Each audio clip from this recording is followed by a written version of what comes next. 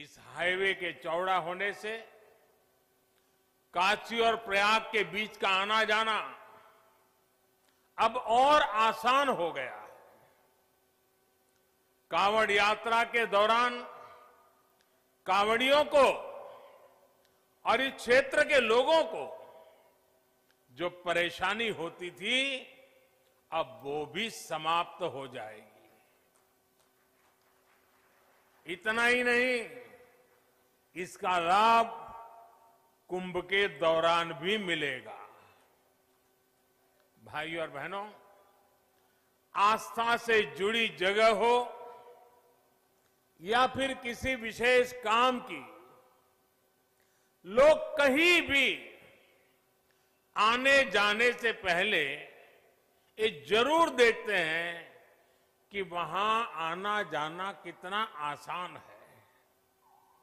इस प्रकार की सुविधाएँ देसी, विदेशी, हर तरह के टूरिस्टों और श्रद्धालुओं को भी प्रोत्साहित करती है।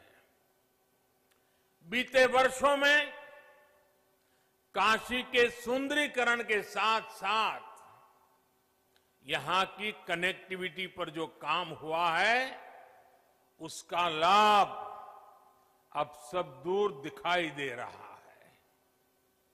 नई हाईवे बनाना हो,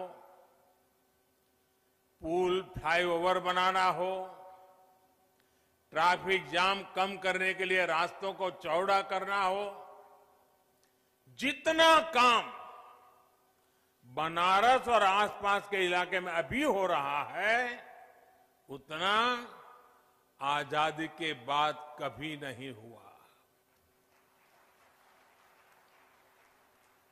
बनारस का सेवक होने के नाते मेरा प्रयास यही है कि बनारस के लोगों की दिक्कतें कम हो, उनका जीवन और आसान बने।